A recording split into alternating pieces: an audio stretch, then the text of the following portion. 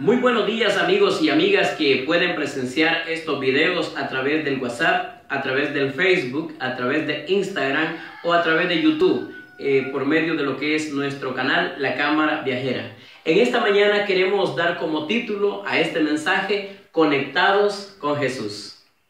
Quisiera hablarle acerca de la vid. ¿Qué planta es la vid?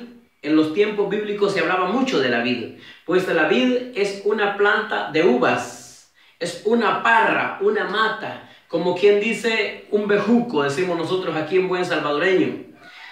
Se dice que la vid puede crecer hasta 30 metros, pero no crece verticalmente, sino que la vid crece horizontalmente. Hablando de la vid, quisiera llevarles al libro de Juan capítulo 15 versículos 1 hasta el 5. Vea y escuche cómo dice. Yo soy la vid y mi padre es el labrador. Todo pámpano que en mí no lleva fruto, lo quitará, y todo aquel que lleva fruto, lo limpiará para que lleve aún más fruto. Ya vosotros estáis limpios por la palabra que os he hablado. Permaneced en mí y yo en vosotros, como el pámpano no puede llevar fruto por sí mismo, si no permanece en la vida. Así tampoco vosotros, si no permanecéis en mí. Yo soy la vid, vosotros los pámpanos. El que permanece en mí y yo en él, éste lleva mucho fruto, porque separado de mí, nada podéis hacer. Esto lo dijo Jesús. Jesús se comparó, lo ejemplificó, él se comparó a una vid. Él dice, yo soy la vid verdadera. O sea, yo soy el tallo principal, ese vertical, dice, soy yo. Pero ustedes dicen, son las ramas que crecen de manera horizontal. Pero si una rama de ustedes dice está cortada, está desconectada con la vid verdadera, ya no puede llevar fruto. Esa rama que fue cortada del tallo, se le secan las hojas y se seca a sí misma. Si tenía flores, se le secaron y todo se consumió, todo se terminó porque él resume, apartado de mí, dice, nada podéis hacer. Si hay tanta gente que en estos días está afligida, está llorando, es porque están separados de la vida verdadera, están separados de Jesús.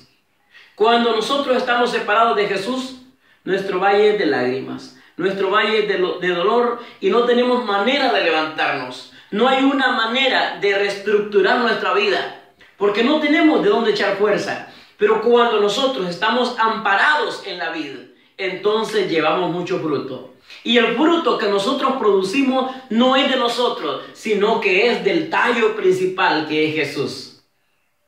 Cuando damos fruto, solamente somos el reflejo de, de lo que Jesús hace en nosotros. El apóstol Pablo, en el libro de Filipenses, capítulo 4 y el verso 13 dice, todo lo puedo en Cristo que me fortalece. ¿Cuánto? Todo.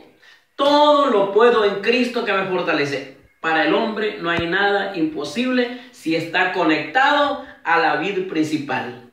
Si tú no has estado conectado hasta este día, si tú has estado como una rama de pámpano desconectada, apartada, quiero invitarte este día para, para que te conectes con la vida, para que te conectes con Jesús a través de la lectura, a través de la oración, a través de decirle, Padre, quiero confesar todos mis pecados. Ya me cansé de vivir solo. Ya me cansé de rodar por el mundo yo solo. Ahora quiero poner mi vida en tus manos. Y él dice, el que a mí viene, yo no le echo fuera. Que Dios te bendiga, que tengas un día maravilloso.